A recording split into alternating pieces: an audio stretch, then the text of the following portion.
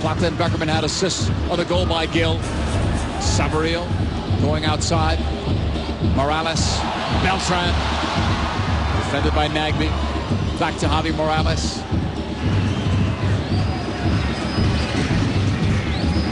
Grabavoy in the middle. Got it forward. Plata cutting on Baptiste in front. Off the post and in. A goal by João Plata. 2-0 RSL.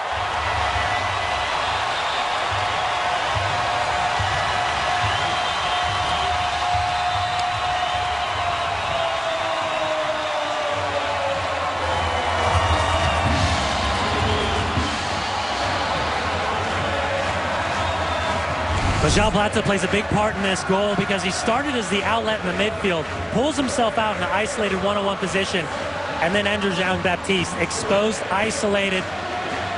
It starts with a good first touch. It's a positive touch forward, step over, opens it up to his left, and then goes back across Donovan Ricketts. Ned Grabavoy gets his head up, early ball, and then look, with no outside right back, Plata is isolated with essentially now is a right marking back in Jean-Baptiste.